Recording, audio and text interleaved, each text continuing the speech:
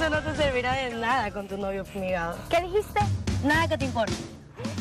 Mira, yo soy muy tranquila, pero si te metes con la persona que yo quiero, saco la manavita que llevo dentro y te entro a machete limpio. Así que dime dónde está Martín. Te tocará trabajar duro y tendrás que mantener a los dos, a los tres, a los cuatro y a los cinco hijos que lleguen a tener. Y la convivencia. Ahí verán si aguantarán. No importa.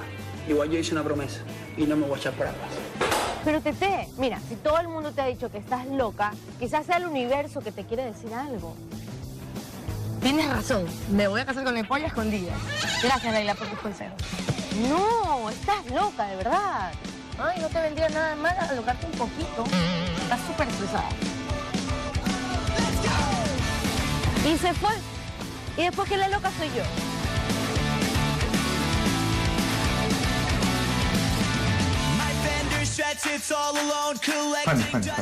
Ando apurada, así que adiós. Osvaldo, digo, señor psicólogo. Eh, no, espera, espera, espera, espera. mira. Quería decirte que me disculpes por el mal rato de la vez anterior, pero regresé con mi novia. Ok, no hay ningún problema. Eh, regresé con mi novia hace unos días. Quería decirte eso. Y bueno, fue después de lo de nosotros. Y tenía que habértelo comunicado, pero no quiero que te sientas mal. Bueno, entonces digamos que fue falta de comunicación. Ya, pero espera, espera, espera, espera, espera. Pero podemos ser amigos. Claro, no hay ningún problema. Igual te voy a tener que ver todos los días en el instituto. Pero mira, mira, mira, mira. Somos amigos, pero si en algún momento me peleo o algo pasa con mi novia, eh, quién sabe, podemos ser algo más que amigos. Oh, siempre y cuando nadie se entere. Hmm. Típico. Y yo que pensé que eras diferente al resto. No te quiero volver a ver.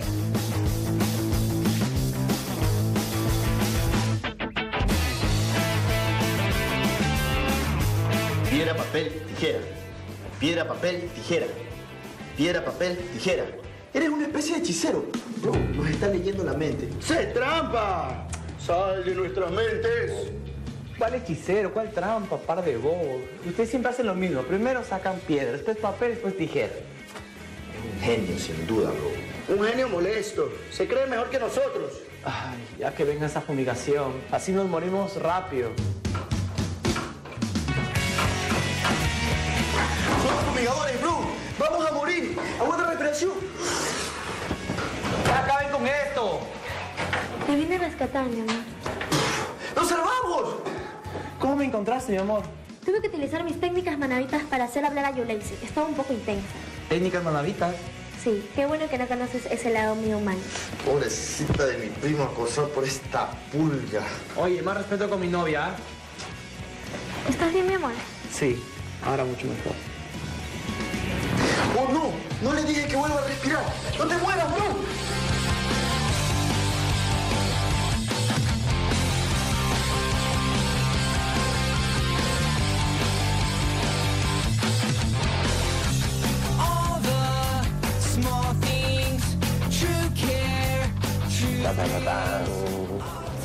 Ta, ta, ta, tan. Tal como me lo enseñó mi mamita. Las bodas me ponen un poco nostálgico.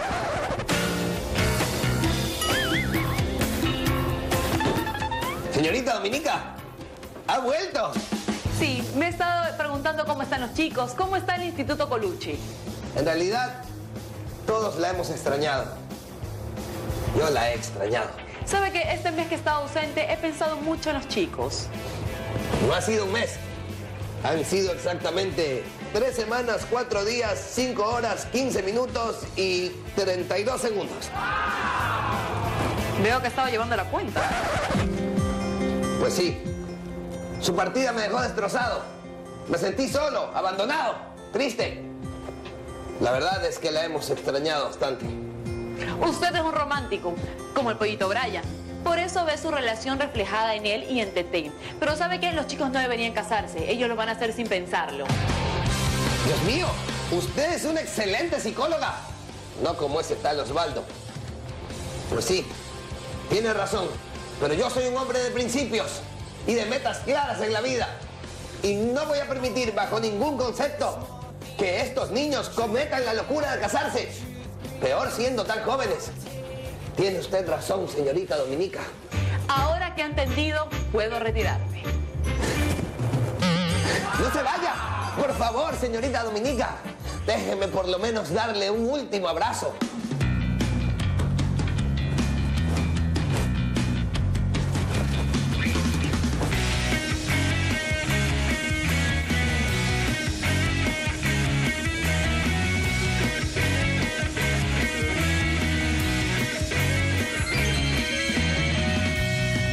Sabí, despierte. Profe. Señorita Dominica, denme un besito. Oiga, oiga, oiga, a ver, a ver, a ver, profe. No, profe, usted es como su padre. Dios mío, muchachos, ¿qué está pasando? Profe, se quedó Rucote ahí en la mesa. ¿Qué mismo? Tenemos que ir al registro civil. Mis niños, no puedo seguirlos apoyando en esta locura de casarse. Entonces nos escapamos. Nadie va a saber. No malentiendan mis palabras. No quiero separarlos. Solamente creo que no deben casarse todavía. Ay, no entiendo. ¿No nos quiere separar entonces? Pues no. Pero creo que son jóvenes. Aún tienen mucho por vivir. Tienen que disfrutar de la vida. Y después de terminado el colegio, empezar a hacer planes para compartir una vida juntos, como un matrimonio. Es verdad. Tete, yo te quiero mucho, pero no debemos apresurarnos. Bueno, yo digo lo mismo. Hay que esperar entonces. Sí, mi amor, la verdad que no necesito ni un anillo ni un papel que firmar para demostrarte que te amo. Entonces sigamos siendo novios y vemos qué pasa. Niños, por el poder y la investidura de ser un profesional en la educación, yo los declaro pollo y tete.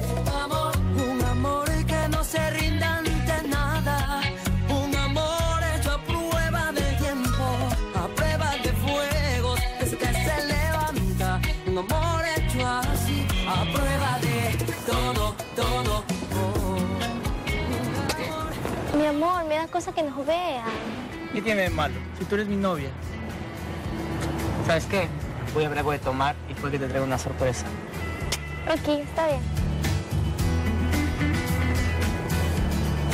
Ana Paula, creo que la que necesita consejos y clases ahora soy yo. Pero yo no te puedo enseñar nada. Sí me puedes enseñar, tal vez a ser feliz y enamorarme de un hombre correcto. Guarda eso. Yo no te puedo enseñar nada. Pero no te vayas. Quédate, conversemos. ¿Y qué vas a hacer? Dame un consejo trillado. Ay, qué amargada que eres.